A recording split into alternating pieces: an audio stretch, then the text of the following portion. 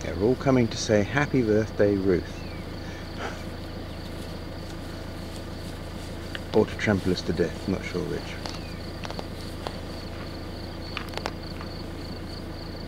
All together, lads. Happy birthday in your own time.